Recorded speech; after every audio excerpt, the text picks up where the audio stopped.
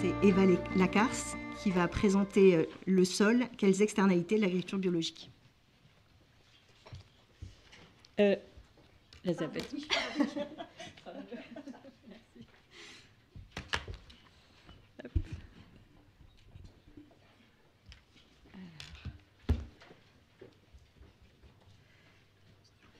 Ça, c'est le mien, ça. C'est le mien. Ouais. Il est là-bas. Bon, ben, merci beaucoup pour cette introduction euh, méthodologique, euh, Natacha. Euh, donc, je vais vous parler du sol, des externalités de l'agriculture biologique vis-à-vis de, ce compartiment sol. Ah. donc, tout d'abord, en fait, pourquoi parler d'externalité quand on parle du sol? Le sol est un facteur de production, donc ce n'est pas une externalité. Mais si on considère le sol de façon plus large, en fait, on se rend compte qu'il y a un ensemble de services que rend le sol le sol pourvoit à une multitude de services, il est donc multifonctionnel. Et dans ce cadre-là, on parle de qualité ou de santé du sol, deux termes relativement euh, interchangeables, euh, sachant que la santé du sol met plutôt l'accent sur euh, la composante biologique de la, de la, qualité du sol et sur l'impact des pratiques sur les propriétés dynamiques du sol. Et donc c'est ce terme de santé du sol qui a été retenu par la Commission européenne en 2021 dans sa stratégie pour les sols à horizon 2030 pour récolter les bénéfices de sols sains pour l'homme, l'alimentation, la nature et le climat. Et donc là, on est sur une notion de sol, de santé du sol, qui, est, euh, qui en fait un bien commun pour euh, l'humanité. Et donc bien sur une notion d'externalité, euh, d'externalité au sens extra, extra en dehors de la production. Donc pour aborder ce, compartiment sol, je vais euh, aborder différents indicateurs euh, de la santé du sol. Tout d'abord, la matière organique dans le sol qui, euh, qui va irriguer l'ensemble des propriétés du sol, l'ensemble de sa santé, mais aussi, donc, dans un deuxième temps, sa qualité biologique, sa qualité physique, sa qualité chimique en termes notamment de contamination liée aux intrants, et dans une dernière partie, le sol à travers une approche globale, un peu plus euh, multifonctionnelle. Donc la matière organique des sols pourvoit à un ensemble de bénéfices, à un ensemble d'externalités. Euh, Bastien l'abordera euh, plus tard dans, dans, les présentations et contribue à l'atténuation du changement climatique, d'une part, et elle contribue plutôt à la matière organique, et elle permet par ailleurs de fournir un habitat et d'alimenter la biodiversité des sols. Elle permet aussi d'assurer le cycle des nutriments. Euh, la matière organique permet de jouer sur la qualité physique des sols à travers notamment la stabilité des agrégats. Et sur le long terme, elle permet le maintien de la fertilité, le maintien des rendements. Et en agriculture biologique, ce qu'on constate, c'est que on a une augmentation euh, de la teneur en matière organique des sols, du carbone organique des sols, de l'ordre de plus 35%, euh, donc sur quelques pourcents de matière organique dans les sols. Et pourquoi est-ce qu'on a plus de matière organique dans les sols en agriculture biologique? Bah, Essentiellement parce qu'on a des pratiques qui vont favoriser les apports de fertilisants organiques, qui vont favoriser la restitution des résidus de récolte euh, au sol. On va avoir aussi des rotations plus longues, plus diversifiées, avec des prairies qui sont favorables à cette matière organique, des couverts intermédiaires multiservices et euh, l'utilisation, euh, la mise en culture de légumineuses qui sont aussi favorables à cette matière organique des sols. Donc globalement, sur la matière organique des sols, on a une externalité positive de l'agriculture biologique. Sur la qualité euh, biologique, on a... Alors je suis désolée, normalement il y avait des animations, du coup ça me perturbe un peu dans le... On a euh, une qualité biologique qui est abordée ici dans le cadre d'une méta-analyse. Donc euh, vous avez une représentation concentrique avec dans la partie supérieure les micro-organismes, les effets sur les micro-organismes du sol, et dans la partie inférieure, les effets sur euh, les, invertébrés. donc, euh, au centre du cercle rouge, on a des effets négatifs, des externalités négatives de l'agriculture biologique, et à l'extérieur de ce cercle rouge, des effets positifs. Et donc, dans cette, dans cette méta-analyse, différentes euh, variables ont été étudiées, des variables d'abondance, de diversité, d'activité de la biologie du sol. Et cela à travers différents types de cultures. Et ce que montre cette méta-analyse, c'est qu'on a dans 70% des études des indicateurs de euh, qualité biologique du sol qui sont plus favorables en agriculture biologique par rapport à l'agriculture conventionnelle. Cela est très net pour les micro-organismes, comme vous pouvez voir par euh, le nombre de cercles euh, dans la partie supérieure à l'extérieur du, du, cercle rouge. Et les effets sont aussi positifs sur les nématodes, mais manquent de généricité pour les autres invertébrés. Donc euh, sur les vers de terre, on voit un effet euh, légèrement positif et d'autres études viennent étayer euh, le fait que voilà, on a un effet aussi positif d'agriculture biologique sur ces vers de terre. Ce qu'on constate aussi, c'est qu'à travers les différentes cultures, on a un effet qui est globalement positif et assez net, sauf pour les prairies permanentes qui sont peu différenciées, bah, du fait de pratiques aussi peu différenciées entre l'agriculture biologique et l'agriculture conventionnelle.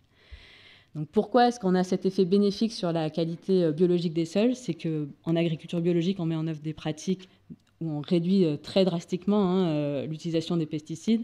On apporte euh, des fertilisants organiques hein, qui vont favoriser la biologie du sol.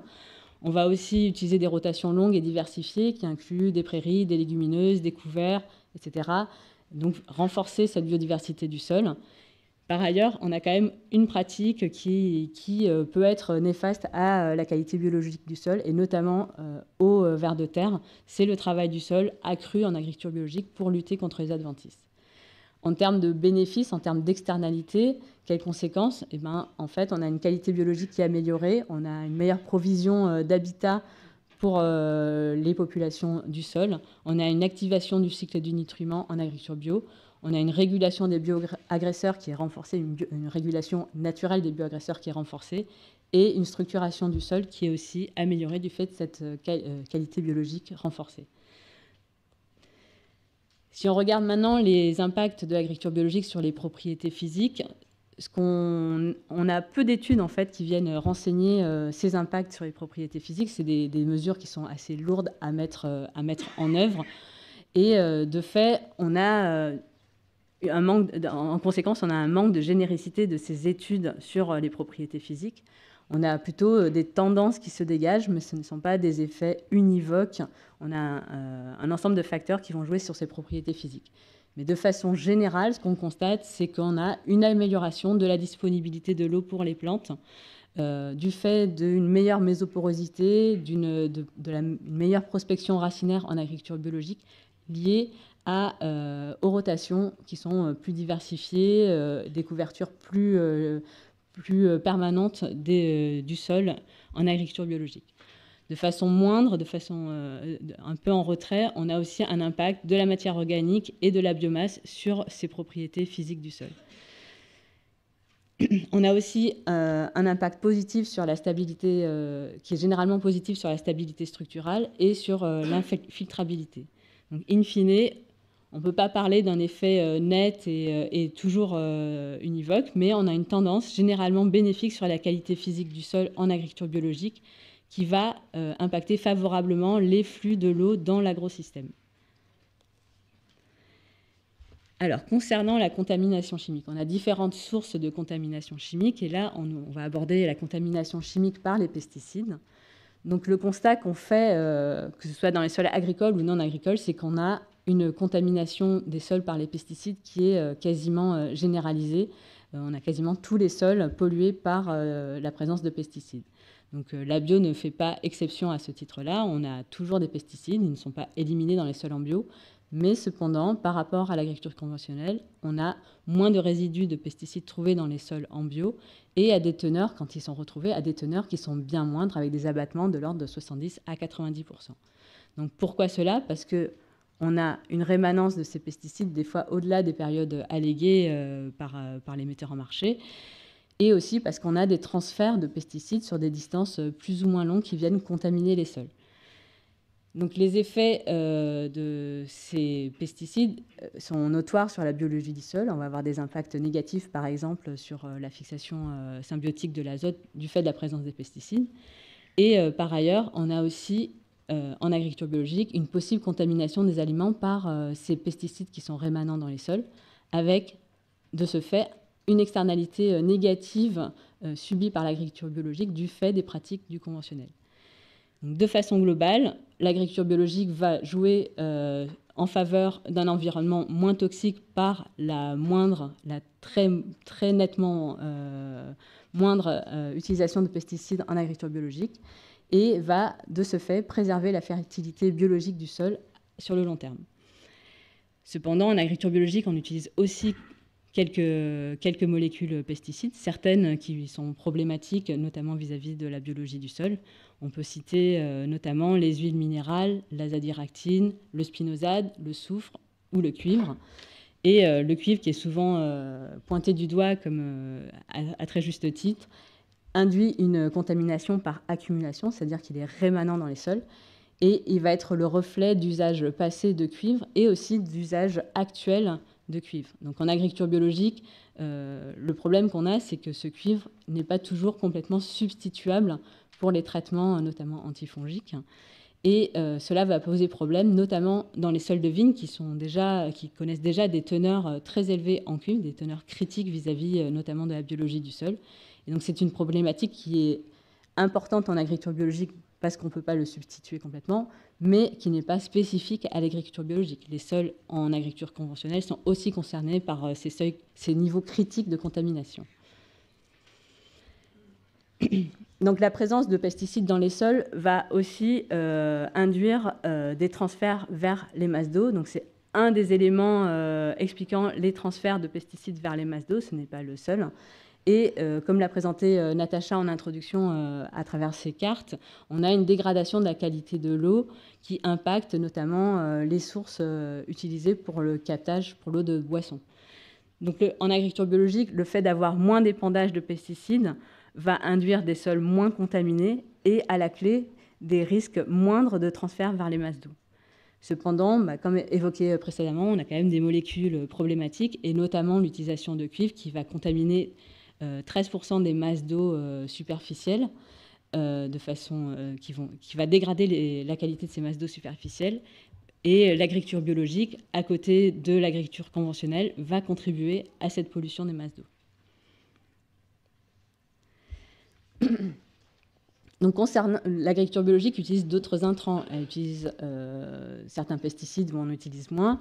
Elle va aussi utiliser des fertilisants organiques qui peuvent amener des contaminations chimiques du fait de la non-utilisation des bouts de stations d'épuration, du fait de l'encadrement plus strict des biodéchets, les risques euh, associés aux contaminations par euh, les fertilisants organiques sont un petit peu euh, atténués en agriculture biologique.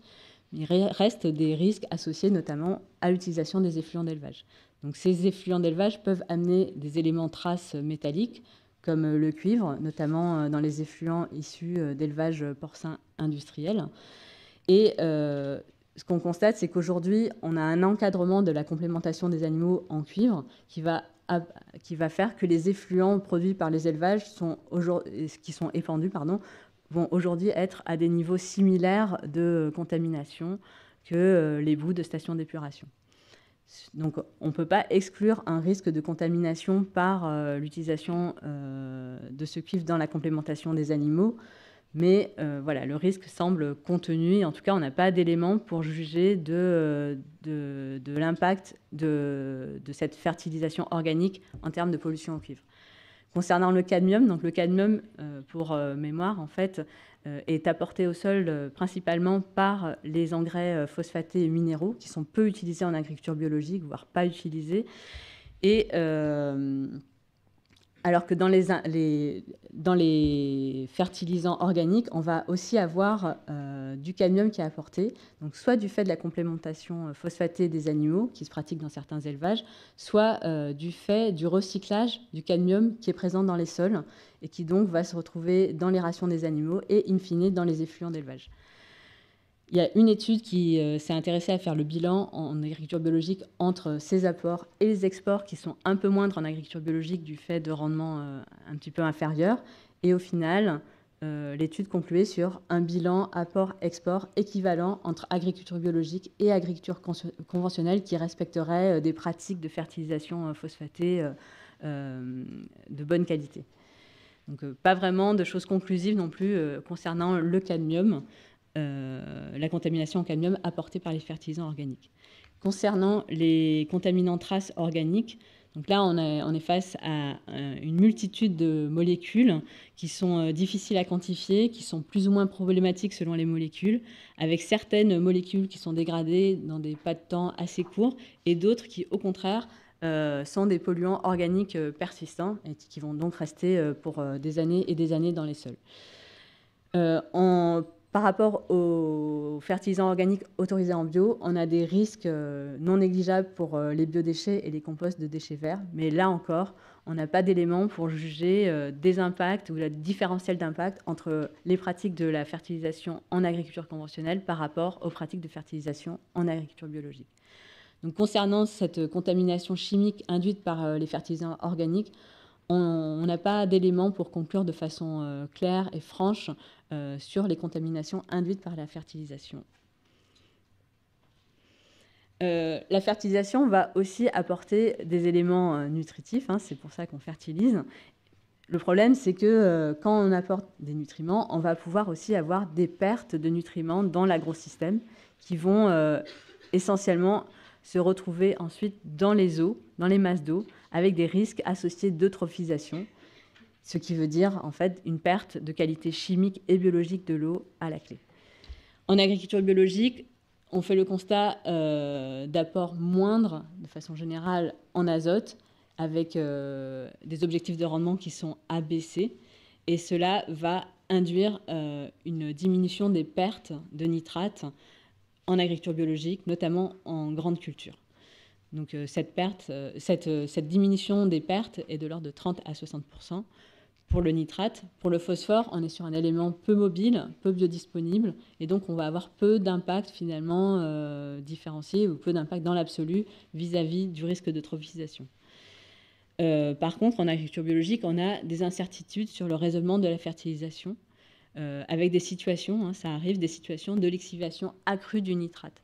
Donc ça, c'est des choses qui se produisent notamment quand on a un sol nu, quand on a des retournements de culture de légumineuses, quand on a un déphasage entre la minéralisation des matières organiques fertilisantes et des besoins des cultures. Donc tous ces éléments euh, qui, vont, euh, qui vont pouvoir induire une pollution des eaux en, azote peuvent être contrecarrés par la couverture des sols en période drainante pour limiter ce risque de lixiviation. Et en ce qui concerne le phosphore, euh, les couvertures des sols vont pouvoir aussi limiter le risque d'érosion en ce qui concerne le phosphore. Donc, ce qu'on constate en agriculture biologique, c'est qu'on a environ 2,4 fois plus de pièges à nitrate qui sont implantés. Donc, euh, a priori, on a un effet euh, positif de l'agriculture biologique sur les fuites de nutriments vers les eaux et les risques de trophisation. Et par ailleurs, donc, euh, c'est important de le rappeler, mais ce risque euh, d'eutrophisation, ce risque de transfert de nutriments vers les eaux doit être appréhendé à l'échelle des territoires parce qu'il y a des phénomènes de concentration euh, dans les milieux qui est importante à considérer. On ne peut pas avoir une approche purement par unité de masse produite pour appréhender ce problème d'eutrophisation. Donc pour, pour conclure, en fait, euh, je voulais vous amener à, je voulais vous présenter ici un exemple d'une étude euh, où le sol est abordé dans sa, dimension multifonctionnelle euh, à travers une étude donc de 60 fermes suisses productrices de blé bio ou conventionnel, où on a différents indicateurs qui sont représentés ici dans le tableau, des indicateurs euh, cerclés de bleu clair, des indicateurs de pratique, des indicateurs cerclés de bleu foncé euh, de la santé du sol et un ensemble d'autres indicateurs qui, eux, sont des indicateurs de production. Et ce qu'on peut constater donc à travers le gradient de couleur, donc du rouge euh, avec des impacts négatifs au vert avec des impacts positifs, c'est que sur la santé du sol, on a des indicateurs qui sont plutôt plus favorables à la santé du sol en agriculture biologique par rapport à l'agriculture conventionnelle. Et par contre, sur la production, on a des impacts plus négatifs, essentiellement en lien avec les pertes de rendement en agriculture biologique. Et euh, ce qu'on voit de façon très saillante ici, euh, euh, l'impact de la pression des adventistes sur ce rendement, l'élaboration de ce rendement en agriculture biologique. Donc, ce qu'on voit, c'est que l'agriculture biologique euh, permet euh, une meilleure multifonctionnalité des sols, une multifonctionnalité qui est renforcée, sauf en ce qui concerne les rendements, et que euh, la raison de cette multifonctionnalité et du fait d'une plus grande dépendance au processus biologique en agriculture biologique, alors qu'en agriculture conventionnelle, on a plus facilement recours à des engrais, à des intrants de synthèse qui vont, eux, être plutôt négatifs vis à -vis des services environnementaux. Donc ici, je vous présente un schéma de synthèse qui est un petit peu foisonnant et un petit peu compliqué à, appréhender. Mais euh, voilà, l'idée générale, c'est qu'on a un faisceau de flèches vertes, d'impacts positifs qui vont être favorables à la biodiversité du sol, qu'il s'agisse de réguler les bioagresseurs, de réguler euh, les nutriments dans euh, l'agrosystème et cela en lien avec l'ensemble des pratiques mises en œuvre en agriculture biologique, et notamment l'impact des rotations, de la fertilisation euh, organique, et euh, avec aussi un impact fort euh, de la gestion des bioagresseurs avec peu de pesticides. Donc ça, c'est un premier volet. Un deuxième volet, c'est qu'on a une moindre contamination chimique des sols en lien avec cette moindre utilisation de pesticides en agriculture biologique et en cascade, une meilleure régulation de la qualité de l'eau du fait des pratiques de l'agriculture biologique. Euh, cette régulation de la qualité de l'eau va aussi dépendre euh, de la fertilisation, de la nature et des quantités de fertilisants apportés en agriculture biologique. Mais euh, voilà, on a euh, une tendance favorable de l'agriculture biologique vis-à-vis des contaminations euh, en nutriments des eaux, mais qui ne se vérifie pas de façon systématique. Merci.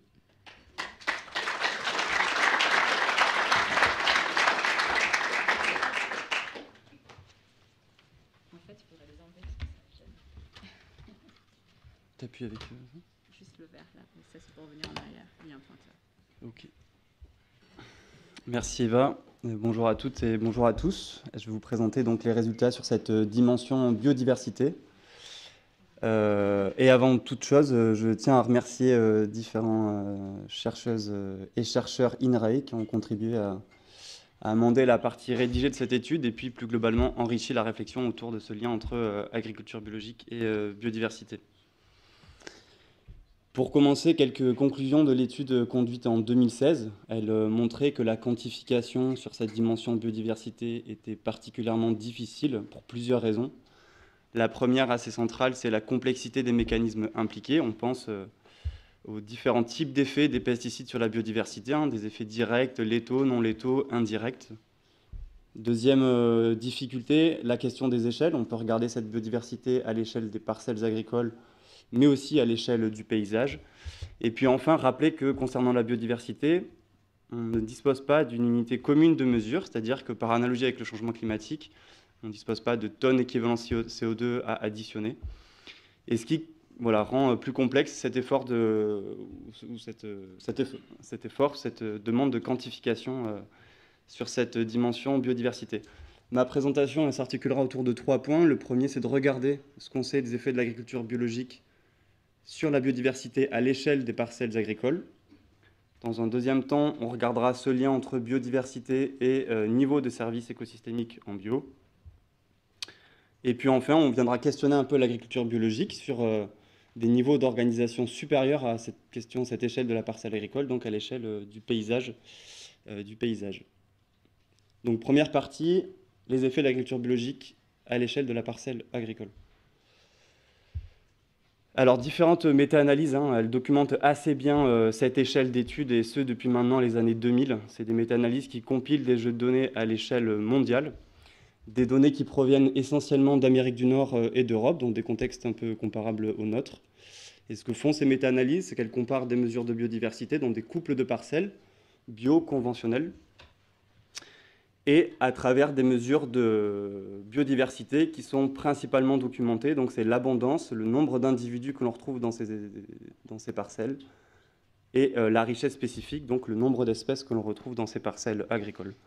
Un indicateur que vous allez voir euh, tout au long de cette présentation, euh, c'est un ratio hein, entre des mesures de biodiversité dans les parcelles en bio et les parcelles en conventionnel on interprète, hein, si ce ratio est supérieur à zéro, alors on a un effet positif de l'agriculture biologique. Et ce que montre ces dernières, en tout cas la dernière méta-analyse en date, hein, c'est un effet positif et significatif de l'agriculture biologique sur le nombre d'individus que l'on trouve en moyenne à cette échelle dans les parcelles agricoles.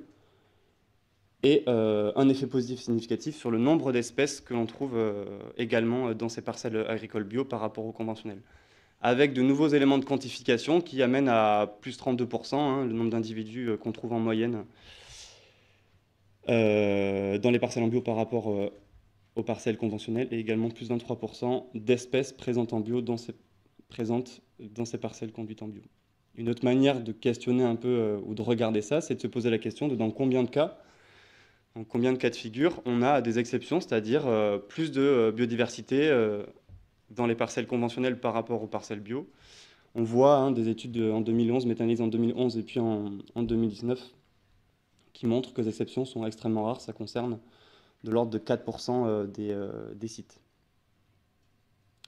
Important de préciser également que cette quantification-là, qui est euh, finalement assez simple et assez intéressante, hein, puisque c'est des pourcentages à une échelle mondiale, donc ça permet de dégager un effet, une tendance globale, un effet propre de l'agriculture biologique.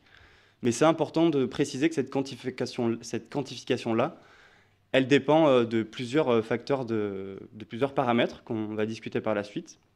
Le premier, c'est le type de culture, c'est-à-dire qu'on n'observe pas les mêmes écarts de biodiversité si ces mesures sont réalisées dans des parcelles conduites en céréales ou si on les mesure dans des parcelles de prairies, par exemple prairies permanentes.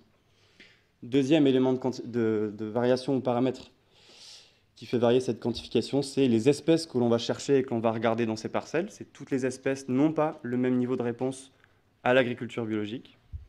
Et puis enfin, troisième paramètre un peu de variation, c'est le contexte paysager dans lequel ces parcelles euh, s'inscrivent puisque le contexte paysager a aussi une influence sur les mesures de biodiversité à la parcelle. Et donc avant d'aborder ces facteurs de variation, pourquoi est-ce que l'agriculture biologique, euh, pourquoi est-ce qu'on observe des niveaux de biodiversité améliorés euh, dans les parcelles conduites en agriculture biologique? Pour répondre à cette question, on a regardé l'effet de différentes pratiques euh, agricoles. L'une d'entre elles assez centrale, hein, l'interdiction de pesticides de synthèse, pour traiter de ce lien entre pesticides et biodiversité, on s'appuie sur les conclusions de l'expertise scientifique collective INRA-IFREMER, qui a rendu ses conclusions donc en octobre 2022 euh, et qui a permis de, voilà, un état de l'art assez complet. Quelques conclusions assez globales sur ce lien pesticides et biodiversité. Rappelez que toutes les matrices environnementales, aujourd'hui, elles sont contaminées. L'eau, l'air, le sol. Et rappelez qu'on connaît aujourd'hui des effets sur l'ensemble des groupes taxonomiques que l'on observe.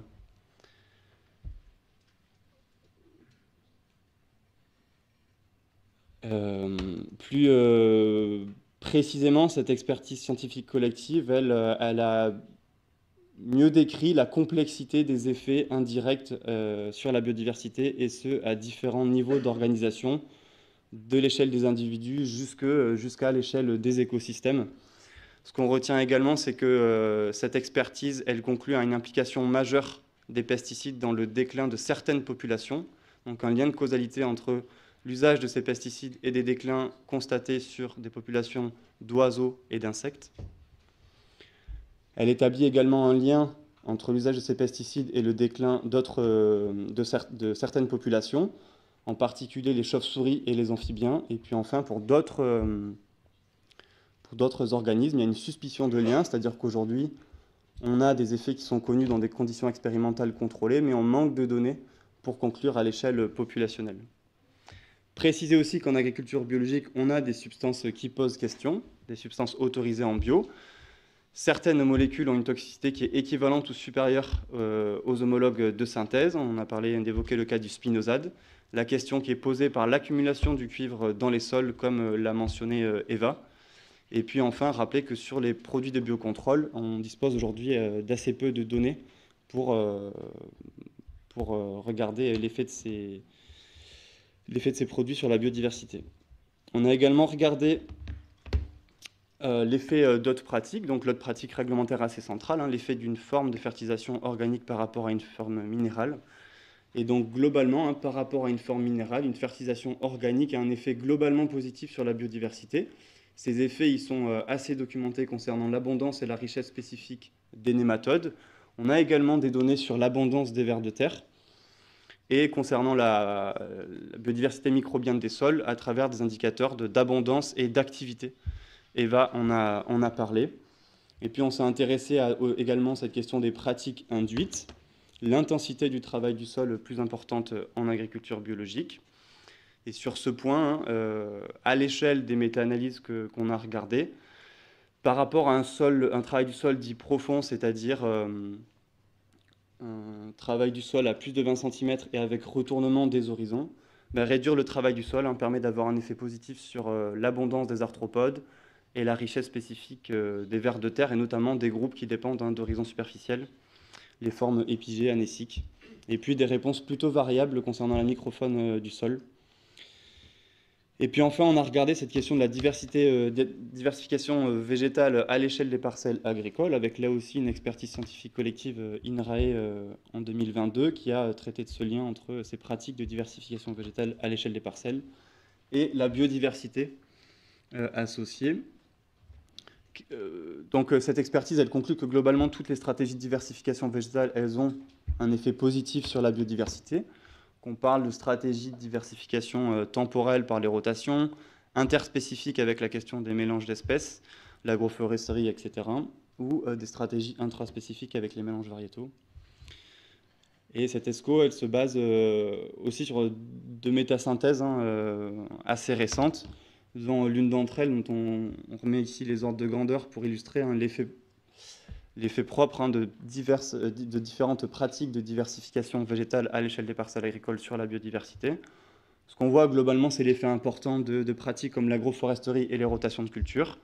Et préciser aussi que l'une d'entre elles, hein, la question des mélanges variétaux, aujourd'hui en tout cas ne ressort pas comme ayant un effet significatif sur la biodiversité, mais préciser également que c'est euh, aussi la pratique euh, la moins documentée à date. Et donc on aborde maintenant ces différents, euh, en tout cas cette approche pratique agricole, elle nous permet de discuter des écarts de quantification quand on regarde les types de cultures, ce qui était assez bien posé en 2014. Donc là, la, figure, elle représente hein, des différences de nombre d'espèces bio par rapport au conventionnel. Quand on est supérieur à zéro, on a un effet positif de l'agriculture biologique. Je précise que la ligne zéro, c'est bien la ligne en pointillé et pas la plaine qui est la moyenne. Et donc, ce qui était assez bien documenté en 2014, c'était que euh, cet effet, l'effet de l'agriculture biologique, il était particulièrement fort concernant des parcelles conduites en céréales. Et puis, pour d'autres types de cultures, hein, les vergers notamment, on avait assez peu d'études. Par exemple, là, dans cette figure, hein, le cas des vergers, on avait à peu près 9 euh, études qui, euh, qui renseignaient et permettaient de calculer cette, moyenne. Ce que montrent les nouvelles productions de connaissances scientifiques, c'est qu'on a aujourd'hui un effet positif qui est également également euh, documenté sur euh, des cultures pérennes, en particulier l'arboriculture et la viticulture, et puis euh, d'autres cas de figure comme le cas de la riziculture. On souligne également que ben, certaines productions sont assez mal documentées, notamment le cas du maraîchage et des prairies. Deuxième paramètre, hein, le niveau de réponse de l'agriculture biologique, il est variable selon les groupes taxonomiques. C'est-à-dire que tous les groupes n'ont pas la même réponse à l'agriculture biologique, le niveau de réponse. L'effet est globalement perceptible et positif, je le rappelle, sur l'ensemble des groupes que l'on observe, hein, mais par contre on voit que cet écart il est plus ou moins marqué. Toujours la même figure qui s'interprète de la même manière, hein, le pourcentage de différence d'espèces euh, des parcelles en bio par rapport au conventionnel. Et ce qui était là aussi bien montré euh, en 2014 euh, et lors de l'actualisation, c'était que c'était les plantes, en tout cas, qui avaient le niveau de réponse le plus important aux pratiques, pratiques bio et puis des effets également positifs et significatifs sur euh, ben, des, arthropodes et des oiseaux. L'actualisation, elle renforce ce constat euh, concernant des groupes comme les arthropodes et les oiseaux. Et la grande euh, un peu nouveauté dans l'intervalle 2016-2023, c'est ce qu'a montré Eva sur les effets également positifs sur la biodiversité des sols. et on précise ici que ce niveau de réponse des espèces il varie probablement selon les traits fonctionnels de ces espèces, et en particulier le degré de mobilité de ces espèces. Euh, d'autres, certaines espèces, on pense à certains arthropodes, euh, insectes volants notamment, et les oiseaux, leur, euh, leur aire de mobilité dépasse largement le cadre de la parcelle agricole, ce qui appelle aussi à questionner cette biodiversité à une autre échelle que celle de la parcelle agricole interroger ce que dit euh, ou quel est ce lien entre niveau de biodiversité et puis niveau de service euh, écosystémique en agriculture biologique. Euh, une, autre manière de discuter euh, et d'appréhender ces biodiversités euh, présentes dans les parcelles agricoles, c'est de les décomposer selon les fonctions et les processus dans lesquels ces espèces et ces organismes sont impliqués. Même figure, et là du coup les espèces sont décomposées selon les plusieurs groupes fonctionnels, les décomposeurs, les ennemis naturels, les herbivores, les pollinisateurs et puis les producteurs primaires globalement, euh, donc pour l'abondance, donc le nombre d'individus et puis la richesse, le nombre d'espèces. Et puis globalement, ce qui ressort, hein, c'est toujours à l'échelle de ces méta-analyses, à l'échelle euh, mondiale, c'est un effet positif et significatif de l'agriculture biologique sur euh, l'abondance et la richesse spécifique de globalement tous les groupes fonctionnels. On note que c'est particulièrement important et significatif pour bah, les ennemis naturels et les pollinisateurs. Et puis on voit quelques exceptions, notamment concernant l'abondance des herbivores, mais Ce qu'on sait également euh, maintenant dans les agroécosystèmes, c'est qu'on a un lien un peu direct entre le nombre euh, d'espèces, par exemple, de pollinisateurs que l'on observe et des niveaux de pollinisation. C'est-à-dire qu'on a dans les agroécosystèmes une relation positive entre, euh, pour deux services, hein, pour la pollinisation et puis la régulation, la régulation des ravageurs. Observer voilà, davantage d'espèces pour ces groupes-là traduit des niveaux de service qui sont améliorés dans, euh, dans les agroécosystèmes. Plus particulièrement, un petit focus sur la régulation des bioagresseurs en agriculture biologique. Donc là, on peut regarder cette question de la régulation des bioagresseurs selon différents types de bioagresseurs. Ce qui a été montré dans une méta-analyse en 2018, c'est que globalement, l'agriculture biologique, elle soutient des... On observe plus d'infestations d'adventices dans les parcelles conduites en bio l'agriculture biologique a un effet positif sur un type de bioagresseurs, les, les adventices. Par contre, on observe dans les parcelles biologiques par rapport aux parcelles conventionnelles des niveaux d'infestation qui sont équivalents concernant les insectes ravageurs et inférieurs en ce qui concerne les pathogènes. Donc le fait qu'on observe des niveaux d'infestation qui soient inférieurs ou équivalents pour ces deux dernières catégories, ça témoigne que dans ces parcelles conduites en bio, on a des processus de régulation qui sont à l'œuvre et qui permettent d'atteindre des niveaux de régulation qui sont comparables à ceux du conventionnel avec des intrants, euh, avec des intrants euh, de synthèse. Donc c'est juste pour, euh, voilà, pour dire ça. et puis, pourquoi est-ce qu'on observe? Donc là, il y a plusieurs mécanismes impliqués dans ces résultats-là. Le premier, c'est qu'en agriculture biologique, on a, on a davantage d'ennemis naturels. Donc l'agriculture biologique a un effet positif sur ces populations et c'est l'activité des ennemis naturels, qui viennent exercer un premier mécanisme dit descendant par des phénomènes de prédation et de parasitisme sur des euh, bioagresseurs de type insectes ravageurs ou pathogènes. Deuxième mécanisme impliqué, un mécanisme plutôt horizontal, c'est des phénomènes de compétition entre, euh, entre espèces, individus ou populations qui appartiennent euh, à des niveaux euh, trophiques euh, équivalents, appartenant au même niveau trophique. Et puis, euh, troisième mécanisme, là plutôt dit, ascendant, avec la plus grande complexité structurale hein, au niveau du sol et des adventices qui viennent gêner, perturber et limiter les infestations notamment. de pathogènes notamment. On l'a dit, donc on en a parlé, important de regarder ce qui se passe au-delà de la parcelle agricole. Et donc là, on aborde un petit peu, euh, on élargit un peu l'angle en regardant un petit peu à l'échelle paysagère. Euh, donc ce qui est important de voir à des niveaux d'organisation supérieurs à celui de la parcelle agricole, c'est l'importance notamment de la présence d'éléments semi-naturels dans ces espaces agricoles, euh, que ce soit à l'échelle de fermes, que ce soit à l'échelle de, voilà, de régions agricoles. Ici, les résultats d'une étude, euh, d'une étude euh, qui a observé, donc, euh, qui a étudié la biodiversité sur différentes fermes présentes dans dix régions agricoles, dont les, productions dominantes de ces régions sont illustrées par les codes couleurs. En violet, c'est plutôt des, des, régions dominées par les, cultures pérennes. En marron, plutôt polyculture élevage et culture arable. Et puis en vert, des régions agricoles plutôt dominées par les prairies. Ce qui a été regardé dans cette étude, c'est à l'échelle donc de plein de fermes dans ces dix régions agricoles, de regarder la part des espèces qui étaient présentes uniquement dans les parcelles cultivées, donc c'est la partie vert foncé, la part des espèces que l'on observe au niveau de ces fermes uniquement présentes dans les habitats semi-naturels, c'est la partie euh, vert clair, et puis également la part des espèces que l'on observe à la fois dans des parcelles cultivées et à la fois dans euh, ces habitats semi-naturels. Conclusion de cette étude-là, c'est qu'on observe qu'en moyenne, hein, ces éléments semi-naturels hébergent près de 50% des espèces présentes à l'échelle des fermes.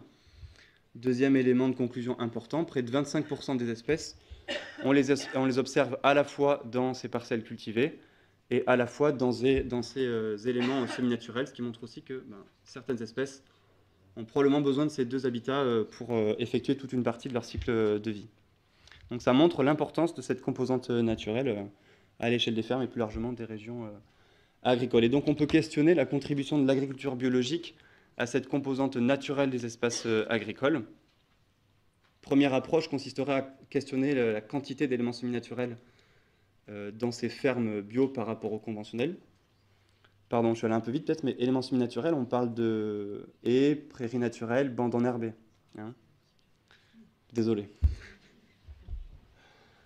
Je vais recommencer, je pense. Et donc, euh, donc cette approche quantitative, préciser qu'aujourd'hui, on n'a pas d'études génériques à l'échelle de la France qui permettraient de comparer bah, la part de la surface qui est consacrée à ces éléments semi-naturels dans les fermes conduites en bio ou conventionnelles. Donc on n'a vraiment pas d'études génériques, c'est important de le rappeler. Les éléments qu'on a à disposition dans la littérature, ils montrent plutôt qu'on a autant d'éléments semi-naturels dans les fermes bio et conventionnelles. Et puis notre approche, c'est de venir questionner un peu la qualité de ces éléments euh, semi-naturels, la qualité de ces habitats, dans des fermes conduites en bio ou en conventionnel, puisqu'on sait bien que les pratiques agricoles ont une influence sur, euh, sur les espèces que l'on retrouve dans ces éléments qui sont aux abords de parcelles euh, cultivées. Ici, un des résultats d'un travail conduit dans plus de 500 fermes en France. Ce qui est représenté, c'est le nombre d'espèces que l'on retrouve dans des haies à proximité de parcelles conduites en conventionnel, donc sur la partie de gauche, et des haies à proximité de parcelles conduites en bio, c'est la partie, de droite ce qu'on observe, hein, davantage, d'espèces végétales dans ces haies euh, à proximité de parcelles conduites en bio, premier résultat. Et le deuxième, c'est euh, ce que traduit ce caractère hémérophobique, c'est euh, des espèces qui sont habituellement peu habituées aux milieux cultivés. Donc c'est des espèces qu'on retrouve vraiment moins fréquemment dans des milieux qui sont perturbés. Et ce que montre aussi cette étude, c'est que ben, dans ces haies de parcelles conduites en bio, on a davantage d'espèces qui appartiennent plutôt à ce, groupe. Donc là, depuis le début, on oppose hein, dans cette échelle du paysage euh, à la fois des euh, parcelles cultivées, plutôt euh, un peu considérées comme hostiles à la biodiversité, et puis des éléments ou des, habitats semi-naturels qui sont plutôt favorables à la biodiversité. Important de préciser que des travaux en écologie du paysage ont contribué à faire évoluer cette représentation de la complexité des paysages agricoles. C'est-à-dire que la mosaïque cultivée, hein, donc quand on enlève la partie euh, semi-naturelle qui est ici euh, représentée en vert, cette partie jaune-orange, elle peut aussi euh, contribuer à améliorer des niveaux de biodiversité à l'échelle du paysage. Et de deux manières, sur la dimension horizontale en jouant sur l'hétérogénéité de composition, qu'on approche ici avec la diversité des cultures. Plus on augmente cette diversité des cultures, plus on crée de la, de l'hétérogénéité hein, de, ces patchs, cette mosaïque cultivée à l'échelle du paysage. Deuxième euh, direction, la direction verticale, où là, on joue sur l'hétérogénéité de configuration qu'on approche avec la taille des parcelles. Plus on va réduire la taille des parcelles, plus on va aussi complexifier cette mosaïque cultivée. Et des travaux donc récents en écologie du paysage ont montré que ben, cette mosaïque cultivée, et notamment cette hétérogénéité selon ces deux composantes-là, elle peut avoir une contribution qui est forte à la biodiversité à l'échelle euh, du paysage. Avec un résultat euh, assez parlant, hein. le fait de réduire la taille des parcelles moyennes dans ces paysages de 5 hectares à 3 hectares a un effet comparable à augmenter la part d'éléments semi-naturels de 1% à 11%. Donc c'est pour montrer un petit peu à quel point cette, cette, partie cultivée dans les paysages, elle peut également contribuer à soutenir des niveaux de biodiversité importants dans les espaces agricoles. Donc on peut là aussi questionner la contribution de l'agriculture biologique sur cette euh, dimension euh, paysagère. On a peu d'éléments aujourd'hui qui nous permettraient de discuter de la taille des parcelles bio par rapport euh, au conventionnel. Voilà. par contre, il faut bien préciser qu'on a en agriculture biologique, de par ces rotations plus longues, plus diversifiées, sur des tailles de ferme équivalentes ou inférieures, probablement une contribution aussi indirecte de l'agriculture biologique, surtout sur cette dimension hétérogénéité de composition de la mosaïque cultivée. Quelque chose d'assez limitant dans ces travaux assez récents, c'est-à-dire que les régions agricoles qui ont été étudiées en Europe et au Canada, euh, n'ont pas pu déceler un effet de la présence de parcelles conduites en bio dans ces paysages, parce que ces paysages et ces régions agricoles étudiées n'avaient pas suffisamment de parcelles conduites en bio pour qu'un effet soit perceptible à l'échelle de régions agricoles. Pourtant, certains travaux, et notamment dans différentes zones ateliers, on pense aux Deux-Sèvres et en Bretagne, ont montré que certaines espèces avaient une réponse positive, un peu amplifiée par la part du, paysage cultivé en agriculture biologique. Et donc des travaux ont montré qu'on avait un effet additif, c'est-à-dire qu'en augmentant la part cultivée en bio dans ce paysage, on a une réponse un peu plus amplifiée pour certains groupes, en particulier sur les plantes, certains taxons, les plantes et les pollinisateurs, avec là des réponses qui sont plutôt positives, papillons, bourdons, abeilles, donc voilà, des travaux qui ont montré, euh, qui ont montré ça. A l'inverse, dans des régions dominées par la viticulture, et notamment dans le cadre, euh, dans des travaux, une zone atelier dans le Bordelais, ben, euh, des travaux ont aussi montré que ben, c'est un peu l'inverse, c'est-à-dire que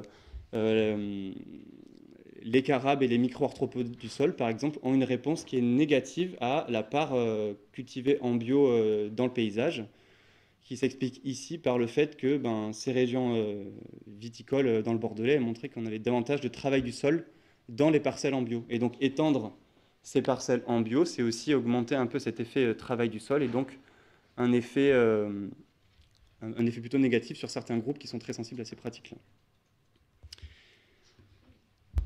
Conclusion. À l'échelle de la parcelle agricole, cette actualisation, elle conforte un effet positif et significatif de l'agriculture biologique sur la biodiversité associée dans les parcelles agricoles. On peut retenir ces éléments de quantification. Cette actualisation, elle étend les effets positifs de l'agriculture biologique par rapport à ce qui était euh, présenté en 2016. C'est-à-dire qu'on a des connaissances sur des groupes taxonomiques qui à l'époque étaient peu documentés. Je pense à la biodiversité du sol notamment. On a également des types de cultures qui jusqu'à présent étaient euh, ressortés peu à l'échelle des méta-analyses. Je pense notamment aux cultures pérennes. voilà, le cas des espèces rares, je n'ai pas forcément parlé. Et puis,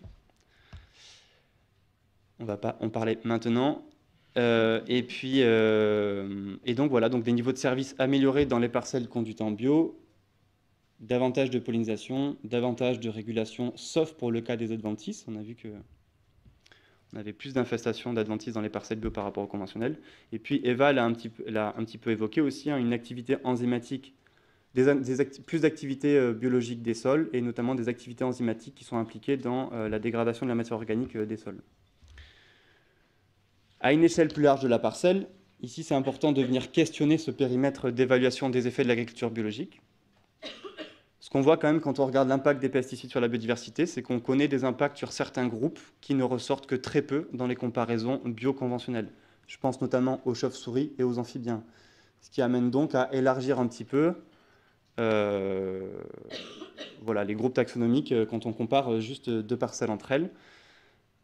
Une nouvelle préoccupation aussi qui se développe, c'est, et on a vu qu'on parlait de manière euh, comparée hein, de cet effet de biodiversité à l'échelle des fermes.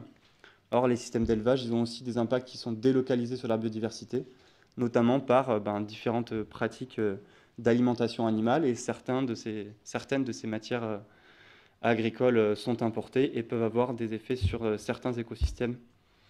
On pense au soja et au Brésil et d'autres effets, donc préciser aussi qu'on a des effets un peu cascades des pesticides sur d'autres écosystèmes que terrestres, hein, les effets aquatiques, etc. Et donc ce qui questionne hein, le fait qu'aujourd'hui on compare principalement la bio et le conventionnel juste en comparant des parcelles agricoles.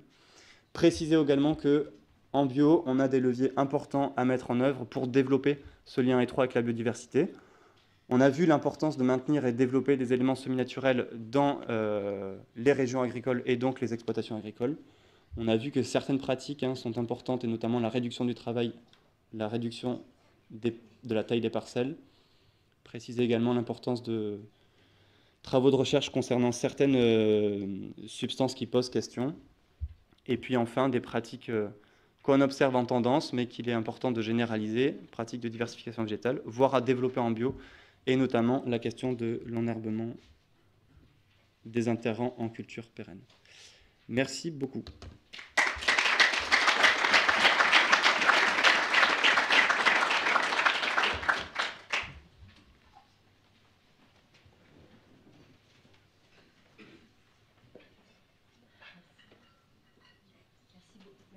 Bastien. On va accueillir donc euh, Servan Penverne pour animer une discussion.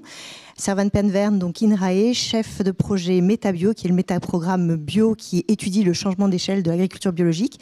On invite donc euh, Bernard Chevassiot-Louis euh, parmi nous, président donc du muséum ancien, vous allez vous présenter, et Françoise Lescouré, INRAE, directrice de recherche. Merci à vous trois.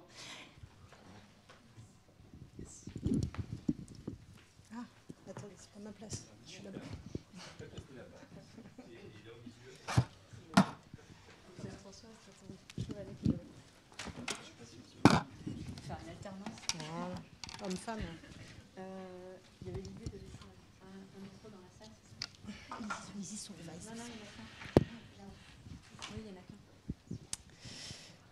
qu'un. Alors déjà, bah, merci de m'avoir confié ce rôle euh, d'animation pour euh, cette table ronde, ou plutôt, euh voilà, c'est cette brochette. Merci, je retiens le terme. Alors c'est un rôle parfois ingrat, je le dis d'avance, hein, parce que je vais devoir peut-être parfois vous couper la parole pour tenir le chrono. Euh, nous avions jusqu'à midi, alors ça réduirait à 25 minutes si on déborde. Euh, merci de votre indulgence, les organisateurs. Et donc, euh, voilà, vous avez été en fait invités en tant que grands discutants.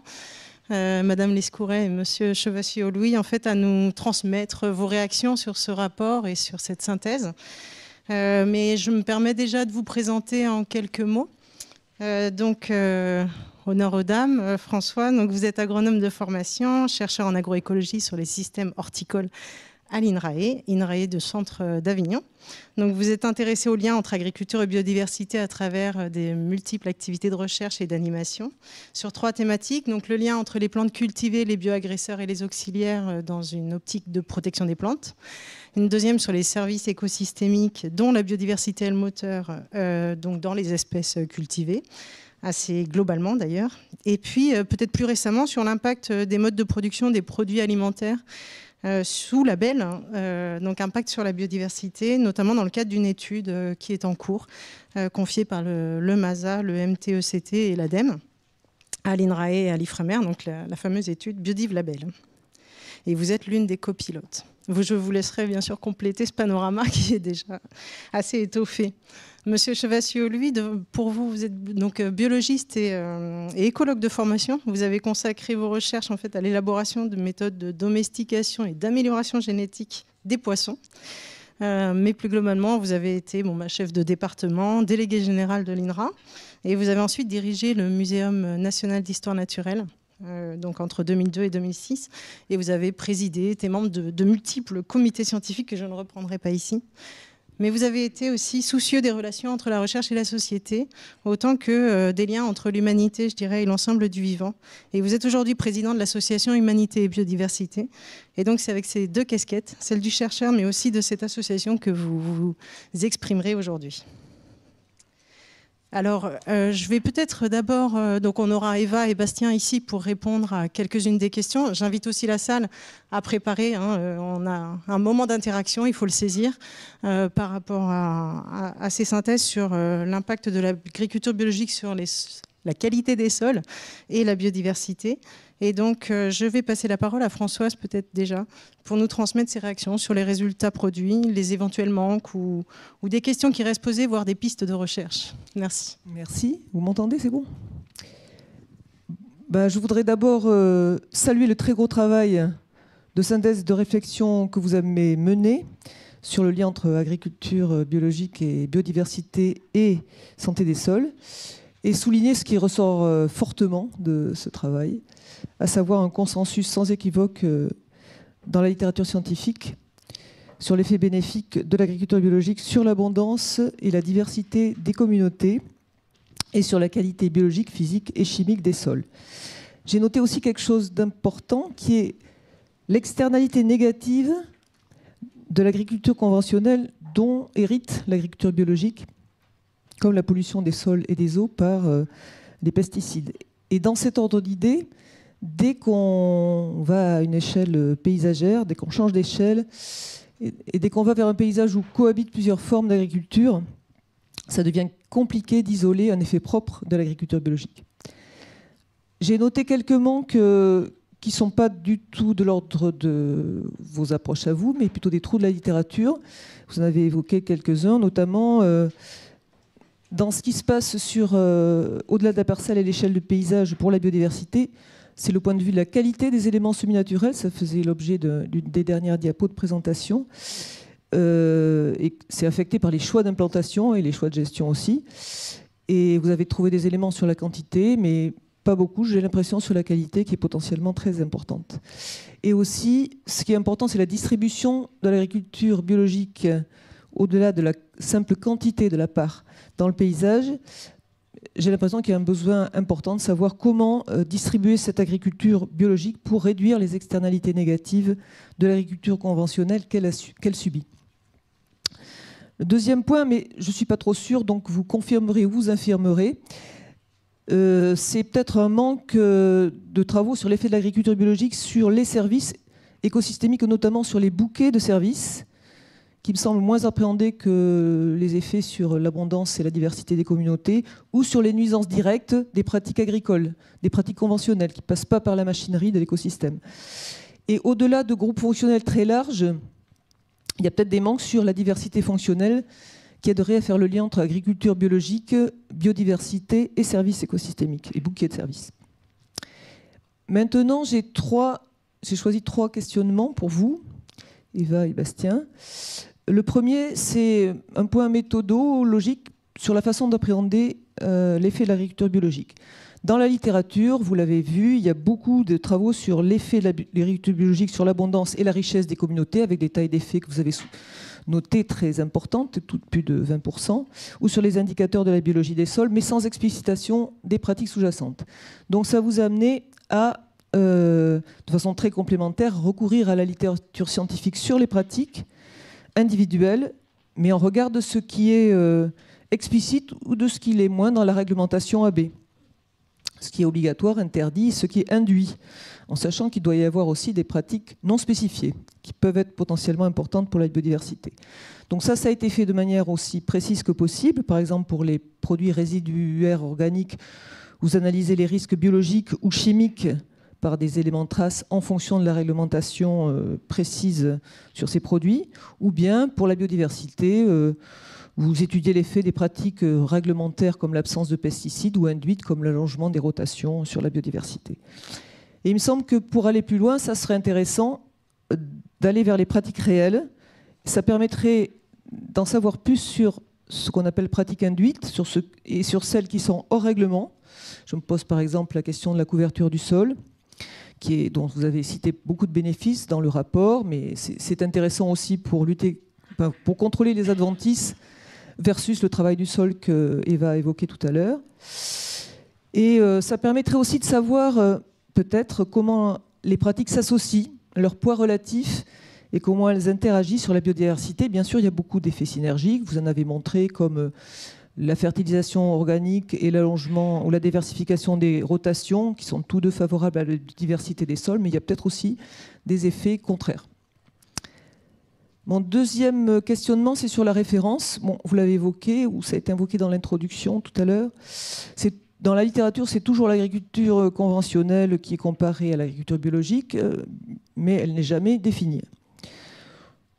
Euh, tout ça s'est fait dans une littérature qui puise à de l'expérimentation, mais aussi à de l'observation dans des réseaux de fermes, et ça génère une certaine variabilité qui était visible dans les diapos que vous avez présentés. Ça ne remet pas du tout en question les conclusions, au contraire, on pourrait dire que ça les renforce. Mais je me demande si on ne gagnerait pas à comparer l'agriculture biologique à d'autres formes d'agriculture que la conventionnelle, euh, labellisée ou non, par exemple l'agriculture de conservation. Je voulais savoir ce que vous en pensez. Et mon dernier point, ça concerne euh, l'évaluation de la biodiversité à l'échelle des produits. Donc ça a été évoqué en introduction, les produits agriculture biologique en, visée du futur affichage environnemental qui va arriver rapidement. Vous l'avez évoqué, vous en soulignez les difficultés méthodologiques, mais au-delà de ça, je voudrais savoir euh, quel point de vigilance vous aimeriez partager en fonction des résultats euh, majeurs que vous avez trouvés dans vos travaux. Merci. Peut-être la parole. Eva, vas-y. merci, merci Françoise pour, pour cette analyse et ces questions.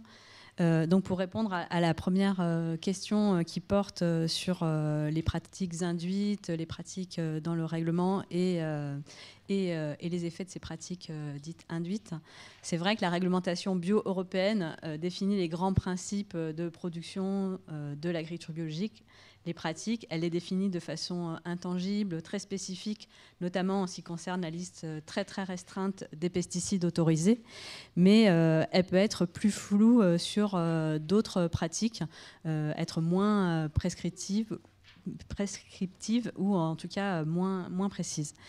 Et, et, heureusement quelque part, parce que la diversité des productions, des pédoclimats dans l'espace de l'Europe à 27 amène à une certaine variabilité de la mise en œuvre des règles de l'agriculture biologique avec des gradients euh, d'intensification qui peuvent être aussi variés en fonction euh, des territoires.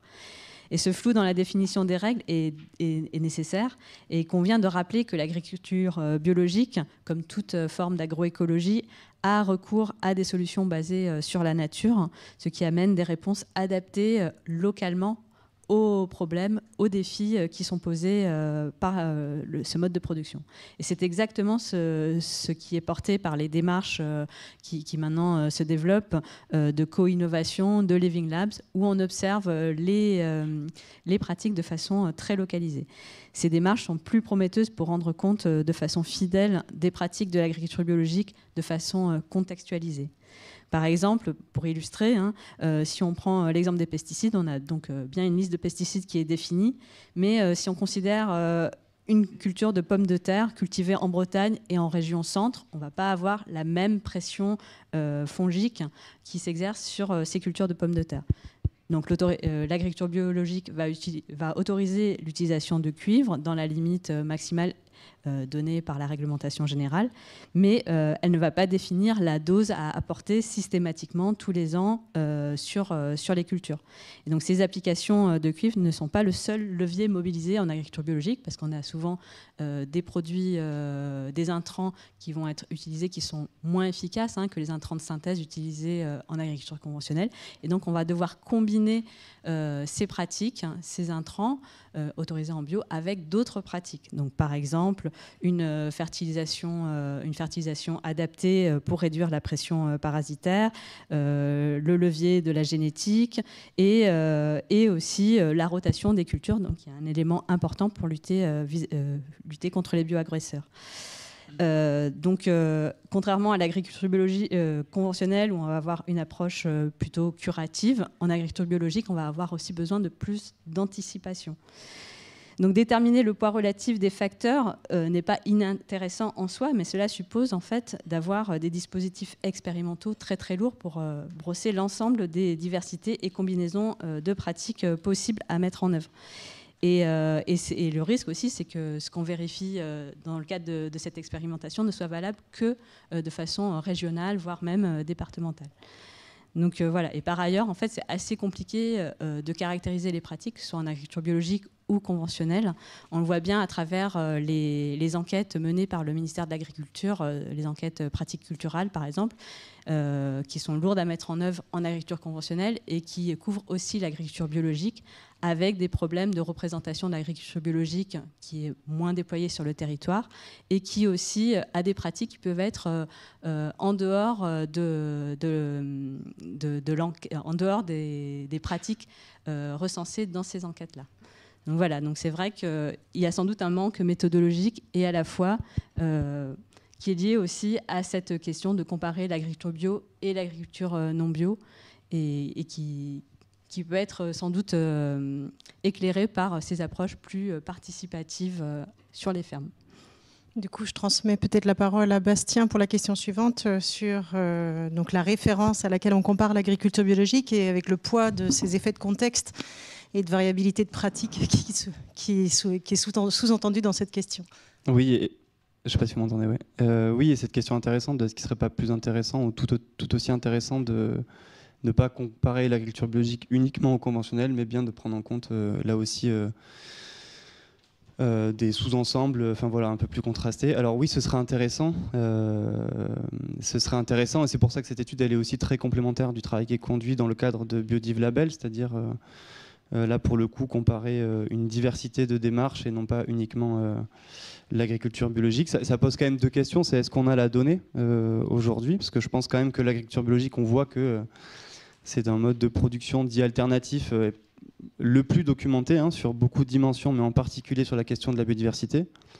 On voit que ça fait toujours l'objet de questions. Donc euh, euh, voilà, 30 ans après, enfin 20 ans après les premières méta-analyses, on voit qu'on a encore des questions. Donc ça pose la question de, oui c'est intéressant, mais est-ce qu'on a les données? Euh, Troisième question portée sur sur bah, l'échelle des produits, justement. À l'échelle des produits. Alors oui, effectivement, dans la partie rapport rédigé, on a regardé est-ce qu'il existait des, des références dans la littérature qui proposaient donc d'exprimer euh, des niveaux de biodiversité par euh, produit alimentaire, euh, ce qui n'a pas forcément été présenté là ici à l'oral. Le regard qu'on porte, c'est que ben, globalement, une approche d'évaluation en analyse de cycle de vie, elle nous apparaît être assez prometteuse sur cette dimension biodiversité. on le voit dans la question des systèmes d'élevage, on voit qu'on a une partie bah, des pratiques, en particulier l'alimentation animale, qui peut avoir des effets euh, vraiment délocalisés. Hein. On pense là aussi au soja par exemple. Et donc euh, le cadre d'analyse en ACV euh, mobilisé dans la question de l'affichage environnemental peut être pertinent justement parce qu'il prend en compte des flux plus lointains. Et en même temps, en même temps, ce qu'on voit par les méthodes aujourd'hui disponibles, c'est qu'il y a une réelle complexité méthodologique hein, à prendre en compte. Bah, tout ce qu'on a un peu vu là, c'est-à-dire des échelles différentes, des impacts euh, différés dans le temps, euh, dans l'espace. Et donc, euh, un point de vigilance rapide sur cette démarche-là autour de l'affichage environnemental, c'est peut-être la question de la quantification d'un niveau de biodiversité par hectare, parce que le rendement, il est exprimé à la parcelle par hectare, et donc on fait un peu le jeu de ramener des niveaux de biodiversité à l'hectare. Et ça, c'est probablement très sensible euh, à, la quantification, c'est-à-dire ce qu'on regarde, un nombre d'espèces, local, pas local, autour, pas autour. Euh, donc euh, voilà. voilà. Merci Bastien. Encore un champ de recherche. je veux bien que tu passes le micro ou Monsieur Chevassier lui, je vous laisse vous exprimer. Donc pareil, quelques réactions et questions posées, sachant que vous aviez des remarques sûrement convergentes avec Françoise et également des éléments qui pourront être repris au fil de la journée. Oui, euh, tout d'abord, merci pour, euh, pour cette invitation et je m'associe à ce que disait Françoise. Bravo pour ce travail. D'une part parce qu'il est extrêmement important, mais aussi parce qu'il n'y euh, a pas de langue de bois, c'est-à-dire que vous avez accepté de regarder ce qui était positif, négatif et autres. Et donc ça, c'est quand, même, même bien dans un contexte aujourd'hui où la langue de bois fleurit quand même pas mal dans d'autres enceintes. alors, trois, niveaux de remarques. Le premier, c'est sur le vocabulaire. Parce que euh, parfois la bataille, c'est des batailles de mots et c'est les mots qui créent peut-être aussi les mentalités. Donc euh, quelques remarques sur le vocabulaire. Ensuite, ben, en tant que chercheur, quelques remarques de, questionnement. Et puis ensuite, avec ma casquette d'ONG, euh, qu'est-ce qu'on peut en tirer du point de vue des politiques publiques et des messages à faire passer? Alors, le vocabulaire, moi, je vous demanderais d'abandonner le terme service rendu par les écosystèmes Hein. Euh, la nature ne rend pas de service, elle a autre chose à faire, elle essaye de s'entretenir, elle a déjà du mal. Donc parler des bénéfices tirés par les humains des écosystèmes, hein, mais euh, ne parlez plus des services rendus, il faut, bien montrer effectivement que c'est les humains qui tirent des bénéfices des écosystèmes. Autre mot, ou alors vous mettez des, vous agitez les mains en faisant comme ça. Euh, autre mot qu'il faudrait essayer de limiter, c'est la notion de rendement. Il n'y a qu'en agriculture que le rendement n'est pas un pourcentage. Hein. Quand vous faites un placement financier, le rendement, c'est combien vous avez d'argent quand vous placez de l'argent. Quand vous construisez un moteur, le rendement, c'est combien je mets d'énergie dedans par rapport à l'énergie que j'obtiens. Et si on se pose la question du rendement sous cet angle, c'est-à-dire sous l'angle de ce qu'on appelle thermodynamique, on va se poser la question, par exemple, en termes d'utilisation de l'azote, combien on met d'azote exogène par rapport à l'azote qu'on va produire lié au fonctionnement de l'écosystème. Et là, on verra peut-être que le rendement n'est euh, pas si différent, euh, peut-être même meilleur pour l'agriculture biologique. Même chose si on fait du bilan énergétique. Hein.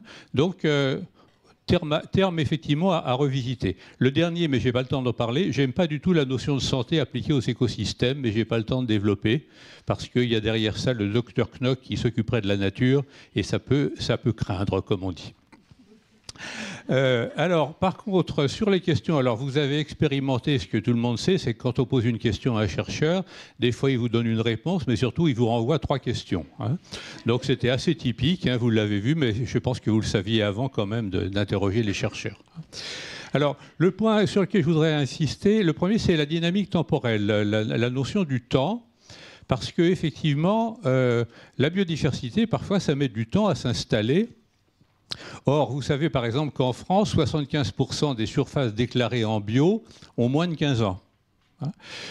Dans d'autres endroits du monde, on peut dire que les surfaces ont toujours été bio par nécessité, c'est-à-dire que par exemple en Afrique, les gens n'avaient pas accès ni aux pesticides de synthèse, ni aux engrais et autres.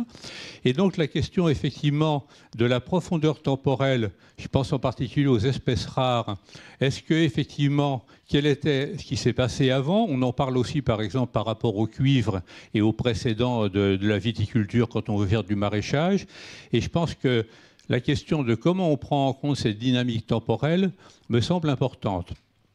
Puis deuxième élément de la dynamique temporelle, c'est demain et après-demain, parce qu'il faut bien voir que les services écologiques, ça photographie ce que, euh, à un moment donné, à un endroit donné, ce que les gens accordent comme ayant de la valeur. Je vous prends un exemple très concret. Sous Louis XIV, on aurait encouragé les ruminants pour émettre du méthane au moment du pitage glaciaire, parce qu'il s'agissait de réchauffer le climat. Bon. Autre point qu'on a très rapidement évoqué, la pédogénèse. La pédogénèse, c'est le fait que les racines des plantes, lorsqu'elles descendent profondément au niveau de la roche-mère, notamment quand on fait de l'agroforesterie, continuent lentement, mais sûrement, à former des sols. Tout le monde s'en fout. Bon. Pourquoi? Ben, Parce qu'on a la chance, en particulier en France, d'avoir hérité de la période glaciaire des sols qui se sont formés, qui sont relativement épais. Mais on sait qu'ils s'érodent. Aujourd'hui, on n'accorde aucune valeur à la pédogénèse. Peut-être que demain, on en aura besoin.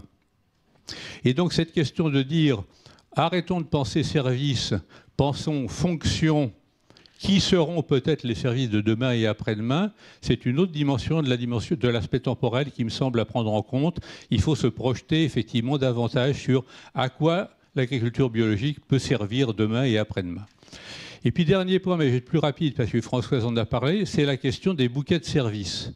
C'est effectivement, c'est une bonne chose d'avoir essayé d'isoler pratique par pratique, mais on voit bien effectivement que ces pratiques sont souvent co-adaptées. Je vous prends un exemple. Vous concluez que les mélanges variétaux, ça n'a pas euh, d'effet significatif sur la biodiversité. Oui, mais ce qu'on sait, c'est que les mélanges variétaux, c'est une des manières de limiter la propagation des maladies, notamment des maladies fongiques, et donc ça permet de ne plus utiliser certains fongicides qui, eux, ont des effets sur la biodiversité. Et donc, effectivement, cette question de recomposer les différents services pour voir quels sont ceux qu'il faut, disons, euh, gérer de manière cohérente me semble important. Et puis alors j'en viens effectivement à l'aspect politique, pour ne pas être trop long, euh, parce qu'on voit bien que d'ores et déjà, il y a des pratiques qu'il faut clairement encourager, que ce soit en bio ou pas en bio. Mais les encourager, ce n'est pas si évident. Et je vais vous prendre quelques exemples. Vous montrez par exemple que la fertilisation organique, ça a des tas d'effets intéressants par rapport effectivement euh, à la biodiversité, notamment à celle des sols. Le problème, quand on regarde la carte de France, c'est que les zones excédentaires en fertilisants organiques ne sont pas les zones sur lesquelles on pourrait utiliser ces fertilisants. Or, c'est assez coûteux de trimballer des fertilisants organiques parce que effectivement, c'est pas, pas aussi dense que des engrais minéraux. Comment on peut planifier cette utilisation optimum des engrais organiques pour qu'ils soient non pas excédentaires à certains endroits et déficitaires à d'autres, c'est une question de politique qui n'est pas évidente. Un autre point, euh, vous montrez très bien que les assolements et les rotations, et en particulier les assolements par rapport, c'est une des figures qu'on a vues, les, les assolements ont un effet bénéfique à l'intérieur effectivement de l'organisation du paysage. Comment dans une économie pas trop administrée, on peut organiser la structure des assolements à une échelle territoriale. C'est-à-dire dire à un agriculteur, si votre voisin fait du colza cette année, essayez de faire un tournesol ou un blé. Ce n'est pas évident non plus du point de vue des politiques. Un autre point, euh, c'est effectivement les éléments semi-naturels. Ça a été bien montré aussi. ça, sera d'autant plus efficace qu'on saura les mettre écologiquement dans des endroits intéressants, c'est-à-dire se poser la question où on les met, pourquoi faire, et surtout comment on fait que leur densité sur un territoire soit telle qu'il y ait des vraies fonctions écologiques. Et ça, ça pose un problème qui est la question que j'appelle le remembrement écologique ou la planification écologique, c'est-à-dire comment penser sur un territoire l'organisation spatiale que l'on veut mettre en place progressivement mais lentement.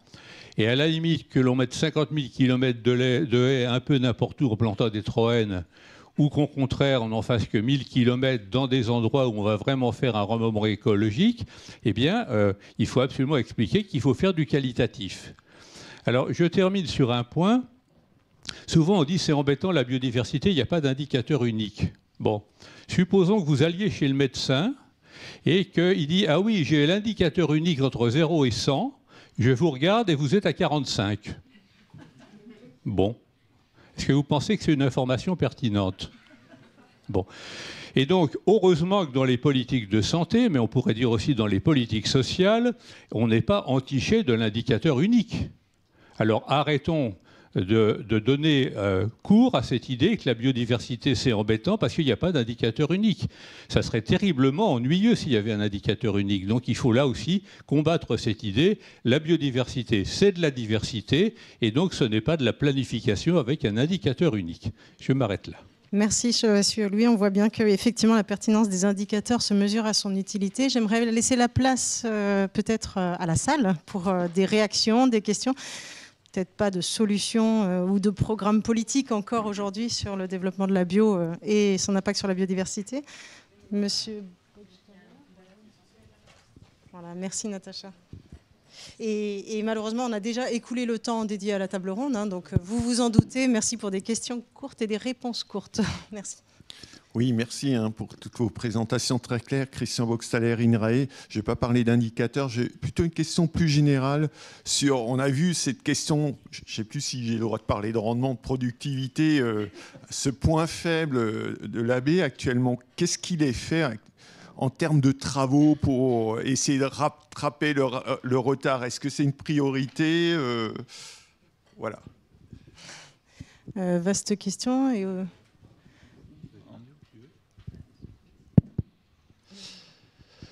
Euh, il y a des travaux qui se posent cette question. On a un projet européen qui a commencé sur ce sujet-là. Euh, est-ce que c'est euh, l'objectif de la bio d'atteindre les mêmes niveaux de production que le conventionnel? C'est une vraie question. Est-ce qu'on parle quantité? Est-ce qu'on parle qualité? On en parlera un peu cet après-midi. Voilà. En tout cas, est-ce qu'on doit continuer à juste regarder la, quantité? Et jusqu'où on peut aller en bio en préservant ces externalités dans la réduction de cet écart de rendement? C'est aussi une question euh, voilà, il y a un enjeu, euh, il y a un enjeu en bio à maintenir et un peu développer. Qu'est-ce que sera l'écart de rendement demain avec les impacts du changement climatique? C'est aussi une question qu'on peut se poser. Euh, jusqu'à quand, comment, quelle incidence aura le changement climatique sur cet écart de rendement et ces niveaux de productivité que l'on connaît dans des systèmes intensifs aujourd'hui? Voilà. Oui, monsieur. Juste une réponse rapide. Peut-être que demain, le fait que l'agriculture biologique soit capable d'utiliser plus de surface pour produire quelque chose, donc maintenir des milieux ouverts riches en biodiversité, on trouvera ça comme étant quelque chose de favorable. Donc il faut peut-être inverser le dénominateur et le numérateur. Françoise, pas de réaction? Une autre question, oui. Oui, bonjour, euh, Charles Pernin du Synabio. Merci pour euh, toutes ces présentations euh, très denses et qui permettent globalement, si je comprends bien, de confirmer les, résultats de la, synthèse précédente. moi, j'avais deux questions. la première, c'était concernant l'impact des pesticides chimiques de synthèse sur euh, les micro-organismes du sol et en particulier sur les rhizobiums qui interviennent dans la fixation de l'azote. Il me semble, Eva, que tu as évoqué qu'il y avait des travaux qui montraient que certains pesticides euh, freinaient en fait le développement de ces rhizobiums et donc la, fixation de l'azote atmosphérique. Et euh, le, deuxième point, c'est par rapport au travail du sol. Donc vous avez bien expliqué que le travail du sol pouvait avoir des effets défavorables sur la vie des sols, les structures des sols, etc. Est-ce que à l'ITAB, il y a des travaux qui permettent d'aller dans la direction d'une agriculture bio qui aurait moins recours au travail du sol? Voilà, merci. Alors, bah, merci euh, Charles pour, euh, pour ces questions. Euh, effectivement, ce qu'on constate, c'est que certains pesticides, comme bah, le glyphosate notamment, mais pas seulement, le cuivre aussi, hein, ont un impact négatif sur la fixation symbiotique de l'azote. donc ça, c'est des choses documentées. Il y a des impacts aussi sur la minéralisation de l'azote. mais voilà, ce n'est qu'une fonction assurée par le sol. Euh, qui est impacté par ces pesticides. Et il faut savoir aussi que euh, le fait d'implanter des légumineuses va favoriser euh, l'établissement des, associations entre les rhizobia et les plantes légumineuses. Ça, c'est un, premier aspect. Et relativement au travail du sol, donc à l'ITAB, actuellement, il n'y a pas de travail sur, sur ce sujet-là. à l'ISARA, il y a de nombreux travaux menés depuis de nombreuses années sur ce sujet la question, c'est de savoir, euh, voilà, euh, on sait que le travail du sol, il va aussi favoriser euh, certains aspects de la vie du sol. Il va favoriser notamment le brassage de la matière organique dans le sol et de ce fait la minéralisation de la matière organique. Donc ça n'a pas que des effets négatifs. Il y a certaines populations qui sont lourdement impactées, mais ce n'est pas l'ensemble de la vie du sol. Et euh, par contre, voilà, euh, il y a des travaux pour limiter le travail du sol par rapport à la vie du sol, par rapport aussi à l'énergie que ça coûte en fait de, euh, de, travailler le sol de façon répétée et fréquente pour limiter les adventices, sachant que les adventices sont aussi fournisseuses de services ou de fonctions favorables à l'agriculture. Merci Eva on peut peut-être encore prendre une ou deux questions avant de clore cette table ronde. On va prendre après une question euh, par tous ceux qui nous suivent à distance. Et donc, euh, ils sont nombreux et on va essayer de ne pas les oublier.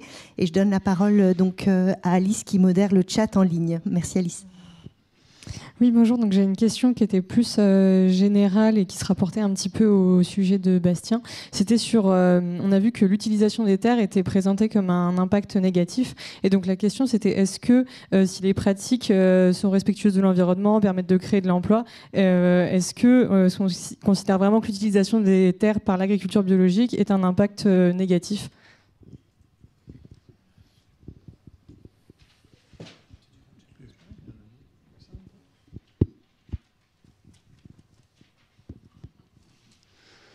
Pas sûr d'avoir cerné la question. Je ne me serais pas embarqué à la reformuler non plus. C'est-à-dire que s'il y avait une performance sociale en termes d'emploi euh, sur le développement de la bio, est-ce que finalement c'est plutôt une question de, de tension En fait, c'est plus sur l'indicateur finalement de. Euh, on considère que l'utilisation des terres, on, considère que c'est quelque chose de négatif. Et en fait, on peut dire qu'en agriculture biologique, on peut avoir une. Enfin, s'il y a des impacts positifs sur l'environnement et sur la société, euh, pourquoi est-ce qu'on continue à utiliser, à présenter cet indicateur euh, comme négatif? Des emplois ou de la biodive, qu'est-ce que tu choisis? Bastien? Il y a peut-être une réponse dans la salle. Je, Attends. Ah oui. C'est par rapport à cette question aussi? Ok. Et eh ben, Ajouter un petit point positif euh, sur le. Pardon, Sarah Feuillette de l'agence de l'eau Seine-Normandie. Un petit point positif sur l'utilisation des terres, c'est que quand on a beaucoup d'agriculture biologique sur une, des grandes étendues, bah, ça protège les ressources en eau qui sont dessous. Euh, Il y aura un, effet, de masse. Ouais. Euh, bah, Christian, à nouveau. Alors, Natacha. Peut-être un élément, mais je. L'emploi, je ne sais pas. Ça me l'enduit. Christian. Si j'ose dire quelque chose sur ce sujet, en fait, on n'a pas mesuré une plus grande utilisation des terres en agriculture biologique.